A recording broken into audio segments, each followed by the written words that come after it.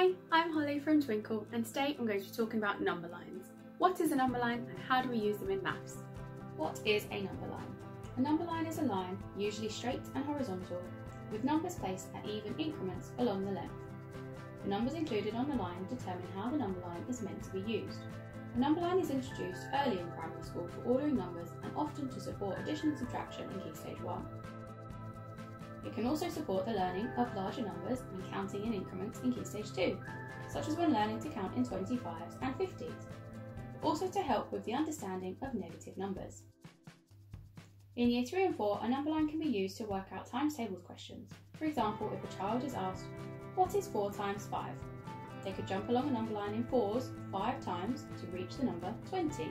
Similarly, they could use a counting in fours number line to reach the correct answer. Number lines can support children when learning to order numbers, for example, two-digit numbers, from smallest to largest, or even placing missing numbers on a number line to fill in the gaps.